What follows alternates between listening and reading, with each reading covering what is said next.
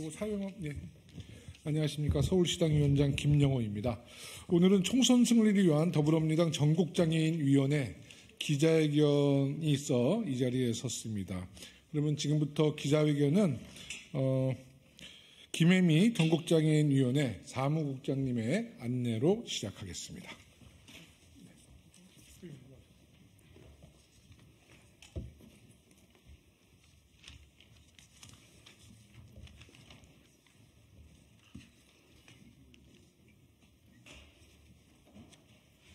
네, 반갑습니다. 어, 지금부터 총선 승리를 위한 더불어민주당 전국 장애인위원회 기자회견을 시작하겠습니다. 어, 4.10 총선이 40여일 남았기에 저희 전국 장애인들의 간절한 목소리가 전달될 수 있기를 기대합니다. 네, 우선 여는 발언 참석자를 잠깐 소개해 드려야 될 것 같아요. 우선은 어, 김명호 의원님, 네, 감사합니다. 그리고 김효진 전국장애인위원회 위원장 직무대행 오셨습니다. 윤석권 전국장애인위원회 서울시당 위원장님 오셨습니다. 이정현 서울시당 장애인위원회 사무국장 오셨습니다. 김현덕 전국장애인위원회 부위원장님 오셨습니다. 이현배 전국장애인위원회 부위원장님 오셨습니다. 아, 아직 그리고 고정희 서울시당 장애인위원회 부위원장님 오셨습니다. 네, 취지 설명을 우리 김효진 전국장애인위원회 위원장 직무대행께서 어, 해주시겠습니다.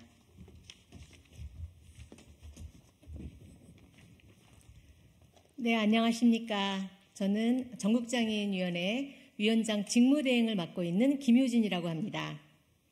네, 저희 어, 조현우 전국장애인위원회 위원장님께서 급작스럽게 세상을 떠나게 돼서 제가 직무대행을 맡게 되었고요. 22대 총선을 앞두고 장애인들과 그 가족들의 염원이 전달될 수 있기를 바라는 마음에서 이 기자회견을 열게 되었습니다. 어, 더불어민주당에서는 지난 17대 총선부터 21대까지 모두 당내 인사가 아닌 외부 인재 영입을 통해서 장애인 비례 후보를 선정해 왔습니다. 당의 주요한 자산인 당내 장애인 인재를 외면한 채 보여주기식으로 외부 인재 영입에만 몰두하는 것은 지난 20여 년의 시행착오로 충분하지 않나 생각됩니다. 향후 더불어민주당이 민주정당으로서 면모를 제대로 갖추기 위해서 이번 총선에서부터라도 민주당에는 훈련받고 조직하고 활동해온 수많은 장애인 인재들이 있습니다. 그 장애인 당원들을 발굴하고 공천할 것을 요구하고자 이 기자회견을 열게 되었습니다. 이상 어, 그 배경 설명을 마치도록 하겠습니다. 감사합니다. 네. 어, 연, 이어서 기자회견 낭독을 어, 전국장애인위원회 두 분의 부위원장이신 이현배, 김현덕 위원장님께서 낭독해 주시겠습니다.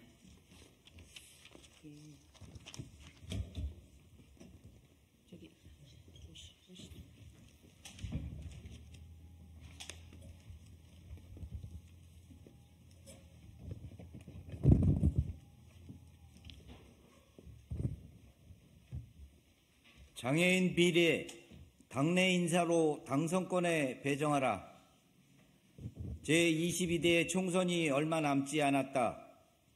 이번 4.10 총선은 우리 장애인들에게 어느 때보다도 중요한 선거이다.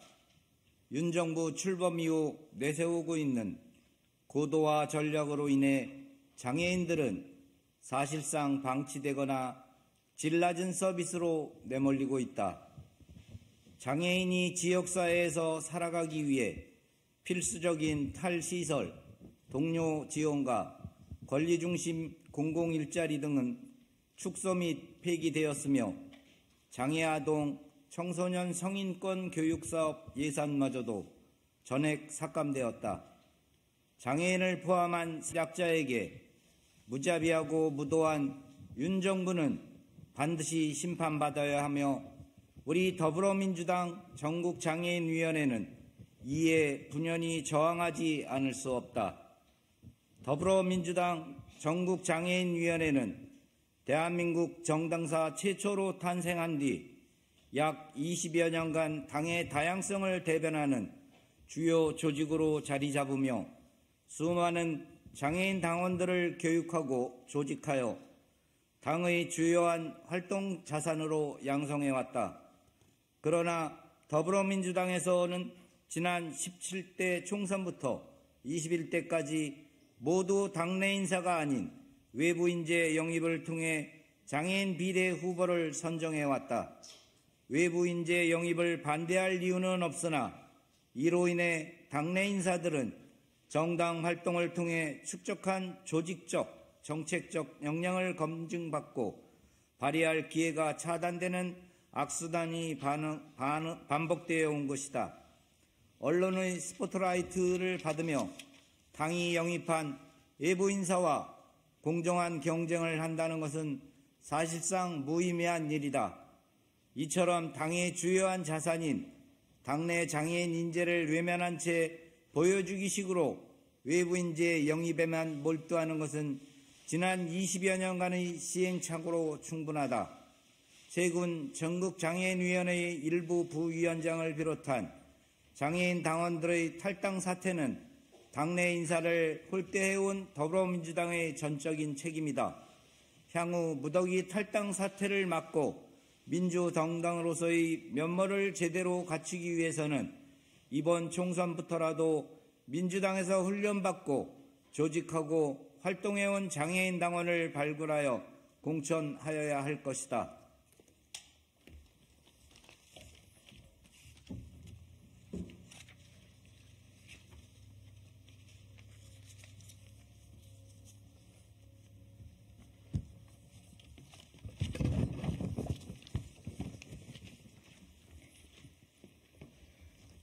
고인이 된 조현우 위원장은 생전에 조정식 총선 기획 단장 면담을 통해 총선 장애인 비례대표의 공정한 절차를 거친 내부 인재 선발이라는 원칙을 확고하게 전달한 바 있다. 이에 전국 장애인위원회는 고인의 유지를 받들어 공정한 절차에 의한 내부 인재로 장애인 비례를 정할 것을 강력히 촉구한다. 공정한 절차를 위해서는 6개월 이상 당비를 납부한 장애인 권리당원을 대상으로 출마 자격을 부여하고 당의 출마 적격 심사를 거친 후 당이 정한 공정한 선출 방식을 거쳐 선출할 수 있어야 한다. 통합형 비례연합 정당에서도 더 이상 감동과 스토리, 이미지로 인물을 추천해서는 안 된다. 장애인을 감성팔이의 수단으로 활용해도 국민들은 이제 더 이상 감동하지 않을 만큼 인권 감수성이 높아졌다. 또한 보여주기에 급급한 나머지 충분히 검증되지 않은 인물들로 인해 언론의 도마 위에 오르는 우를 더 이상 반복해서도 안 될 것이다.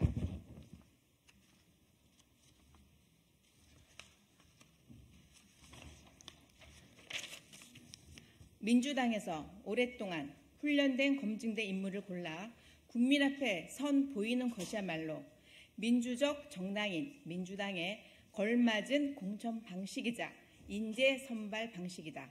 또한 더불어민주당에서는 전국의 장애인과 그 가족들의 이해와 요구를 대변할 수 있도록 장애인 비례대표를 반드시 당선권 안에 배정하여야 할 것이다. 장애인 비례대표가 단 한 명도 없었던 20대 국회에서의 무기력과 한숨을 더 이상 되풀이하는 우를 범하지 않기를 바라는 마음 간절하다.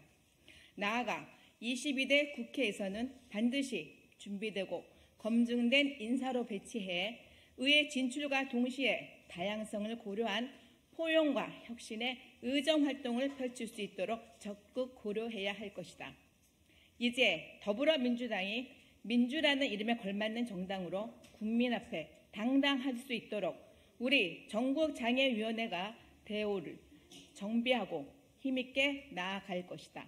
우리 손으로 우리를 대표할 장애인 비례대표를 배출하고 더불어민주당의 총선 승리, 정권 재창출에 기여하기 위해 모든 수단을 강구해 총력을 기울일 것임을 명백히 밝히는 바이다.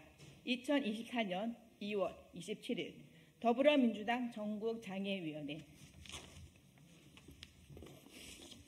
네, 이것으로 기자회견을 마치겠습니다. 어, 바쁘신 가운데서도 저희 그 장애인 정- 더불어민주당 장애인위원회와 함께 해 주신 우리 김영호 의원님한테 감사드리는 마음 전해드리겠습니다. 네, 그리고 많은 좀 관심을 부탁드립니다. 정말 저희들한테는 절실한 부분이거든요. 네, 이것으로 기자회견을 마치겠습니다. 감사합니다.